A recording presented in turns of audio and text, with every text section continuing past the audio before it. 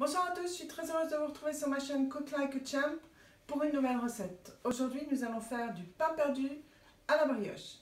Passons donc aux ingrédients de la recette. Pour cette recette de pain perdu, il va nous falloir donc de la brioche, du sucre, un peu de vanille en poudre ou alors du sucre vanillé si vous en avez, du lait, des œufs et du beurre clarifié. Maintenant, on passe à l'exécution de la recette. Bien, dans le saladier, on va mettre nos œufs et on va les battre comme si c'était pour une omelette. Donc on prend un fouet, bien évidemment, et on commence à battre.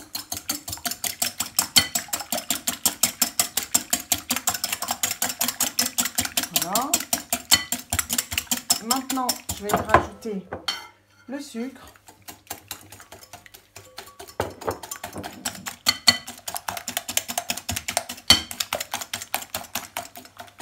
Et quelques petites quelques grammes de poudre de vanille puisque je n'ai pas de sucre vanillé.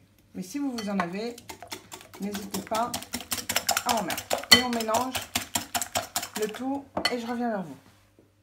Maintenant que nous avons notre mélange sucre, œuf et vanille, nous allons y rajouter du lait. Donc on remue toujours.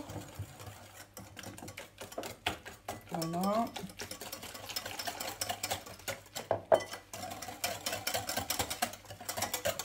Et maintenant, nous allons passer à la cuisson du pain perdu.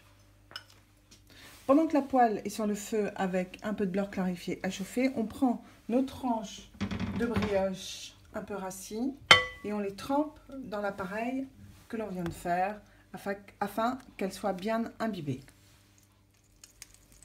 Votre poêle avec votre beurre clarifié est donc chaude. Maintenant, on y installe les tranches de brioche imbibé d'appareil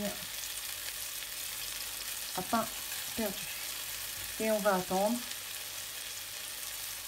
que les faces colorent. On attend la coloration de celle-ci pour les retourner.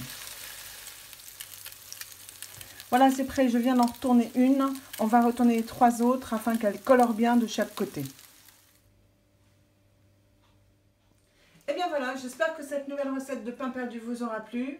N'hésitez pas à liker ma vidéo si vous aimez tout comme moi le pain perdu. Moi, je vous retrouve vendredi prochain pour une nouvelle recette. Salut à tous